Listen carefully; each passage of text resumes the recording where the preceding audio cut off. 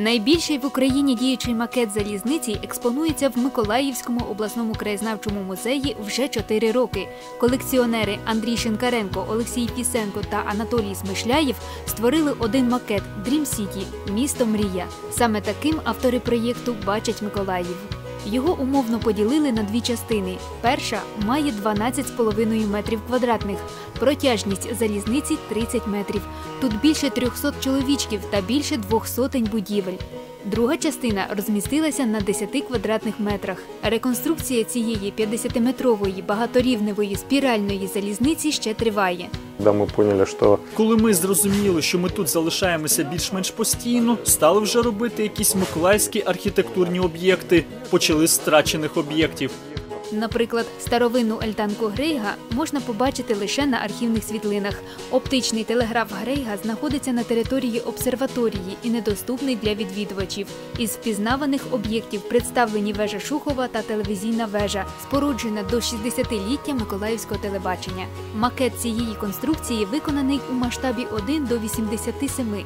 Його висота 2,5 метри. З неї починалася історія багатьох телевеж радянського союзу, тому що у нас на заводі металоконструкцій створили нашу, а потім інші телевежі, в тому числі Львівська, Одеська, Херсонська. Зразки миколаївських пам'яток архітектури виконані за дореволюційними кресленнями на 3D-принтері. В побудові макету використані будівельні та підручні матеріали.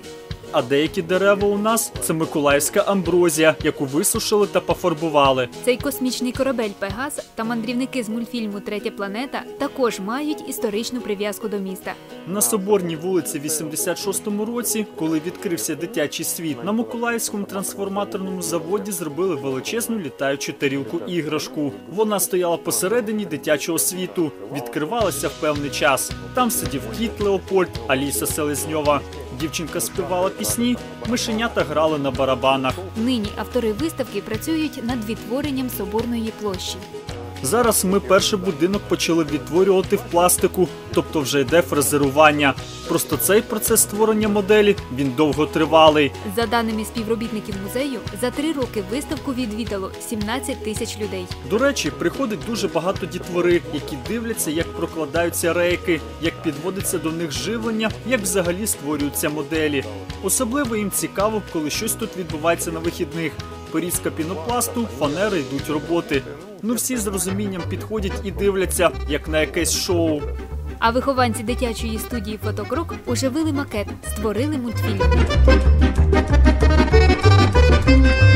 Макет постійно змінюється, з'являються нові деталі. А ще автори помітили, що Dream City став впливати на реальність.